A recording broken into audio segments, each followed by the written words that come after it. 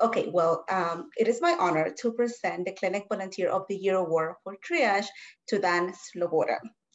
Um, Dan is my regular Tuesday morning triage volunteer. He started volunteering um, at the clinic over two years and he has put in over 300 hours. Crazy. Um, so as we all know, in March, we sent all of our volunteers home and um, once we opened the doors, Dan did not hesitate to come back. He returned in August 2020 and he's there every Tuesday morning, 8.30 sharp ready to start clinic. Um, Dan does an incredible job every time he's on the clinic. When he's there, I know that everything's under control because he has clinic flow amazing. He just supports all of our providers and all of the volunteers that are working on that clinic. Um, and now Dan is actually the new trainer as Eva mentioned before. So um, he has been training away for the past three weeks, and I cannot wait to see our new triage team and how it's gonna grow and how it's gonna become stronger.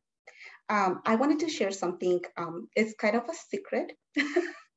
Um, so uh, whenever a provider is covering for um, a colleague on a Tuesday morning clinic, and they are and they realize that we have triage for the four hour shift they are astonished to see how well the whole patient's visits grows and how improves the timing.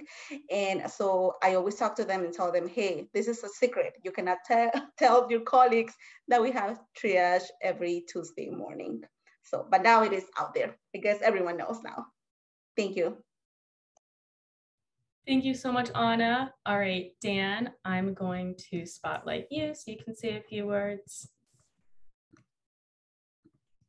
Um, hi, everyone. Thank you, Anna, for those incredibly nice words. I don't feel deserving of them, but I'll definitely take them.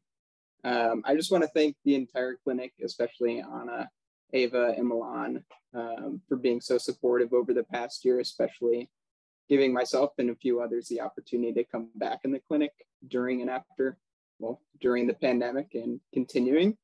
Uh, it was incredibly hard to stay away from the clinic during that time because I did very much want to help.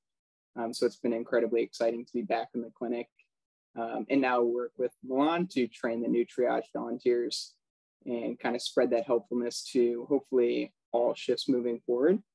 Um, so I just want to say thank you again for the award. Uh, very honored to get it and excited to build the triage program to benefit the rest of the clinic. Thank you again.